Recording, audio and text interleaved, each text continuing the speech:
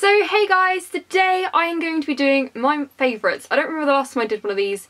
I may have done one at the end of January, can't quite remember. But anyway, I've got favourites for you all. I've also got um, the puppies in here. If you don't watch my vlogs, my dog had puppies. I have them in here. There is one, oh you can't see her. Come here, you want to be on camera. You, do, come here. This is little Miss Orange. Um, she's coming to, she's staying with us. She is our puppy. Um, yeah, yeah. So they're all in here. So if you hear noises, squeaking, if you see the door suddenly open and Tilly run in, she has decided that she wanted a break from them, but she may come back at any point. So, yeah, squeaking and stuff, it's not me. Back in. So, yeah, sorry if that's really annoying. Um, I'm by myself in the house today, so I have to look after them. So yes, favourites. Could you please be quiet, Miss Orange? Do you want to come out? I'm not sure what she wants. I've got a bunch of favourites today. I've got skincare, I have got toothpaste, I have got makeup. So I'm going to start with the makeup because I feel like that's what most of you will be interested in. Oh my goodness! Oh my goodness! And then I'm going to go through to the other stuff. So first things first, on my eyes today, I have got the NYX Ultimate Shadow Palette in Warm Neutrals. I've wanted this for so long. Um, I've got the Cool Neutrals one, uh, but this one was so hard to get hold of for a while. Boots restocked it and I managed to get my hands on it. It's beautiful. It's one of those palettes where you can create so many looks out of it and you don't need anything else. It costs £16 and I need my puppy back. Just sit in my lap. Can you sit in my lap? Is that okay? Okay, she's sitting in my lap now. Apparently that's that's much better than being on her own. So, yes. So it costs £16. Boots have recently restocked it, but um, I don't know where you can get it on Selfridges and a couple of other places, but Boots have just, like, it's just come back, so um, probably try and get it from there if you're in the UK. I think you can get it in, like, the actual NYX stands as well, but um, it's just beautiful.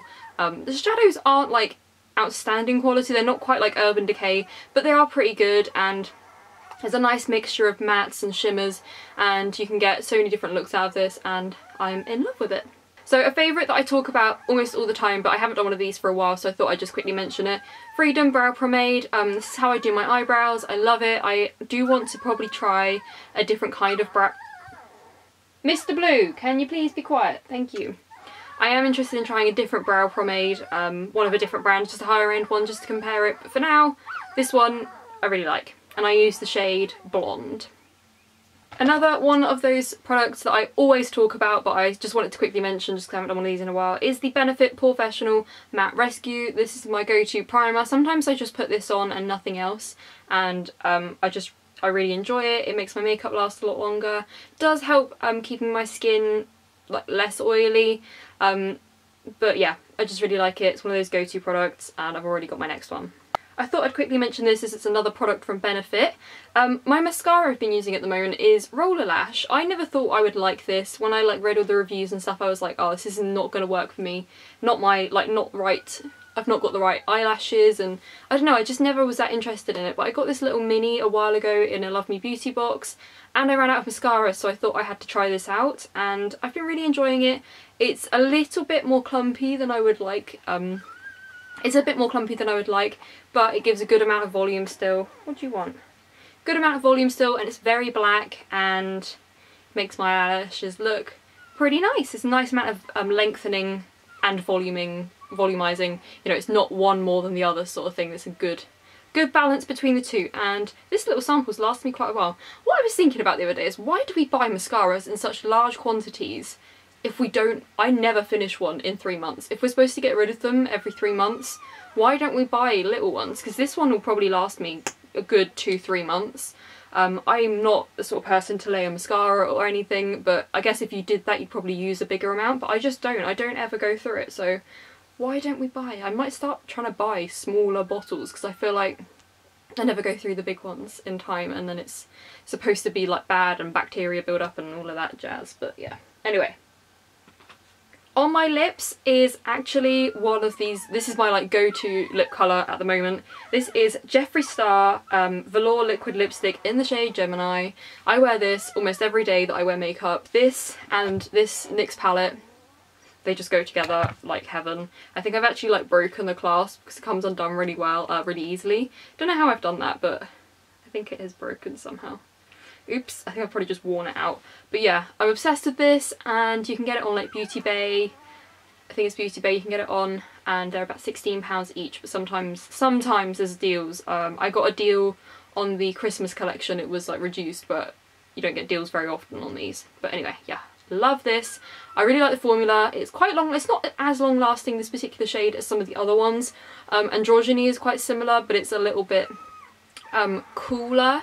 And that lasts longer, but this is really similar to the NYX Soft Matte, no, NYX, what is it called? Lip Lingerie in shade 4, but it's a little bit warmer. So I really like this because it lasts longer than that, and it's a similar shade, but I actually prefer the shade, and yeah, all of that. For a base, what I have been using a lot at the moment is this Kiko BB cream in the shade 2 Natural. I just really like this. It's one of the ones that comes out um, white and then it's got like the beads that burst as you rub it into your skin and all of that jazz. Um, but I just really enjoy using it. It's a nice amount of coverage. It's not super light. Um, the colour is quite a good match for my skin tone. Um, it doesn't last that well. That would be my only complaint is that I think the lasting power is pretty poor. But you get quite a lot in here. Well, you get 30 mils, but it feels like you get a lot because you don't have to use very much. And it's just really easy to use and I think it's quite... Uh, it says foundation treatment with moisturising ingredients, ultra natural effect. I would say it's an ultra natural effect. It just kind of gives you a little bit, little bit of something. Mr. Blue, what are you moaning about? He's literally just asleep. My viewer's not going to be happy with these noises. So another thing I've been using, not really with that BB cream because I feel like it looks a bit weird um, because of the coverage difference, is the Urban Decay Naked Skin Concealer. I have this in the shade Light Warm and I really really like this. It's so high coverage that it actually looks weird I think with a BB cream because I have like areas of super high coverage and then the rest of my face is pretty low coverage so I only tend to use this with foundation. I've been using, I've used it today but I find that it works best under foundation. I don't know why and it works best with a sponge. I am not a sponge person at all, like I do not ever use sponges to apply my makeup. I have one of the Real Techniques ones and I've been using that um, slightly dampened to apply this because I feel like it works better that way. Sometimes with a brush I find it kind of cling to it, like bits a bit weirdly around here. I've got a couple of like, got like some baby hairs and it always clung to that and I just did not like that about it but since I've been doing that I've really enjoyed it again. The packaging is just like flawless, I mean it's absolutely beautiful. And the applicator, in case you haven't seen, I know this is quite a cult product but some people might not have seen, is this Doe, Doe I was going to say Dauphinoise, it's a foot applicator and yeah I really really like it. I kind of wish it was like a shade is there a shade lighter? I'm not sure. Kind of feel like I want a shade lighter just to make it really brightening under my eyes but I might mix it with some of the Body Shop light um, the shade adjusting drops um, in the lightening one and see if that does what I want.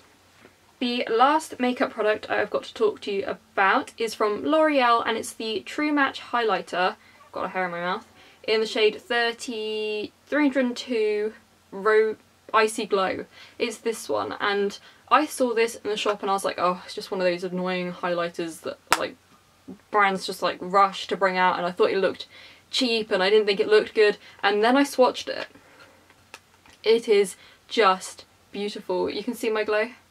That is like the tiniest amount of this shade here. I use this one all the time and then if it's like an evening I'll use the white one. I don't really use the blue that much. I think I've used it a couple of times but it's totally, totally worth it just for this shade here.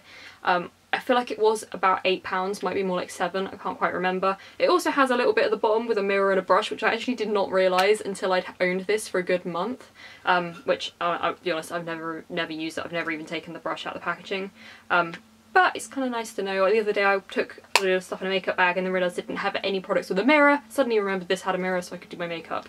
Um, but yeah, I just love this. It's not a subtle glow. Not at all. If you want a subtle glow, don't buy this. But if you're really into a really icy highlight, this is perfect. It's beautiful. Um, this one, I would say the white one has got a bit of kind of like glitter. It's not chunky. There is just it's just like a little bit more chalky. I prefer the formula of this one. This is like the pinkier one. It's not even really pinky. They both look white. I would just say that the white one, which is swatched on the top, has got like a little bit more glitter to it. Swatch the blue one. The blue one is more obviously blue. You can see the blue ones on top. It kind of looks more silver. Oh, are you barking now? Who's barking? And now I've got a puppy on my lap and highlighter all over my fingers. How am I going to do this? I've got to wash my hands before I can touch them. Hmm. Had to change the battery pack and had to put the puppy back. I think we're all okay now. I think the puppies have settled. But yes, this I got in my advent calendar from ASOS. My eyes just, I have really dark under eyes and I don't think this helped that. It does say that it's supposed to soothe and brighten and lift. I do get quite, um, I get like fine lines under my eyes and they're still there, but they definitely have been improved from this this cream. I just find that my eyes feel so dehydrated sometimes and I actually think my eyes themselves haven't been as dry. I used to get quite dry eyes. I think this has helped them. I don't know if that's possible but um, yeah, I just really like it. I found, I've actually found I've gone through quite a lot of this quite quickly. Um, I don't know whether I've been using more than I need to or what, but I had a simple eye cream and it, I, have still got tons left, whereas this is getting a little bit, a little bit low. So yeah, I really recommend this if you're on the market for an eye cream. I don't know how much it's worth, but because I came in my advent calendar so I don't know the price, but um, it's quite nice if you feel like your eyes just need a little bit of extra care and if you get really puffy eyes in the morning, this is good for them. Spots! I get terrible spots. I've got so much foundation on today so you don't see them, but this is my only spot treatment cream. This is the spot Bible spot. This is everything I use to fix my spots. This is the Clean and Clear Advantage Spot Control Treatment Gel. This is everything. This this gel. This is the only only product that will clear my skin. Only product that I have ever tried. Ever. This is amazing. I put this on before I go to bed on a spot and I'll wake up in the morning and it will be half the size. Like literally I will put it on a fresh spot and it will be like nearly gone. Sometimes, you know, really big active ones, mm, I don't put this on them because it stings, but like it's, this, this stuff works. Um, I've tried the moisturiser version of this and the face wash. They're both pants. This is the only product in the range that is worth buying. In fact, this is the only product from Clean and Clear worth buying in my opinion. I've never tried a good product from them. If there is a good product and you think I need to try it, let me know. I'm always up for trying new skincare product. Actually, am I using, what am I using at the moment? Is that Clear? I don't know. I don't think it is. But yeah, Really love this. If you have trouble with spots and you can't find a treatment gel or a cream to get rid of them, try this. It's better than all the medicated ones. Every one I was prescribed by my prescri prescribed pres prescri prescribed pres every one that my doctor gave me didn't work as well as this. So yes, highly recommend this. And it's like £4 and you only need a tiny bit. Lasts you forever. Often on offer. Get it. Finally, I have this wonderful L'Oreal Pure Clay Purity Mask. I also really love this mask. This I find calms my spots down really nicely. Um, I use it like quite often. I would just put it around like a like where a man gets a beard. I'd kind of put it there um, just because this is my main problem area. Um, I have got a little bit of my forehead, but it is mainly like this area here. So quite often I would just put a bit on um, after I've had a shower or a bath or something. I'm trying to show you it. it looks like this and I'll just leave it until it dries, it's about 10 minutes or so, and then I'll take it off and I just feel like my skin is so much calmer after I use it. Um, I don't know about how if it purifies my skin, but it makes my spots feel a little bit nicer and not so sore.